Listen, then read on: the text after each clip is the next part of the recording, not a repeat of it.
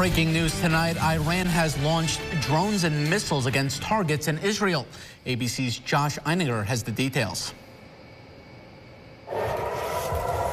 In the middle of the night, drones streaked across the sky over the Holy Land. Israel's military defenses in overdrive to respond to an unprecedented attack by Iran, which the IDF says launched more than 200 drones from inside Iran, as well as from proxies in Iraq, Syria, and southern Lebanon. A U.S. official tells ABC News the targets were military bases, including one that housed F-35 fighter jets. ABC's Britt Clennett described what she saw. About an hour ago, we were seeing trails of orange, these orange flashes in the sky, and then the thud of Israel's air defense in action. It, it almost sounded like thunder. Uh, there was at least a dozen projectiles in all directions behind me.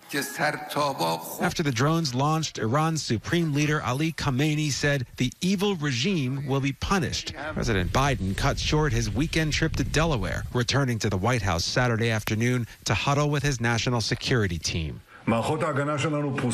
Israel's Prime Minister Benjamin Netanyahu said the country's vaunted Iron Dome missile defense system was ready for the onslaught. We are prepared for any scenario, he added, both in defense and attack. Whoever hurts us, he vowed, we hurt him. According to a U.S. official, American forces shot down some of the Iranian drones headed toward Israel. The U.S. military was already increasing its presence in the Middle East, adding troops, ships, and aircraft to protect assets already in the region. At the United Nations, Iran said the U.S. must stay away, claiming its attack on Israel was conducted as a legitimate defense in response to Israel's attack on the Iranian embassy in Syria earlier this month. Even though no Israeli citizens appear to have been killed in this attack, a source tells ABC News U.S. officials believe Israel will be forced to respond to Iran and that Iran would be the target of that response, meaning yet another escalation in a region already thick with tension.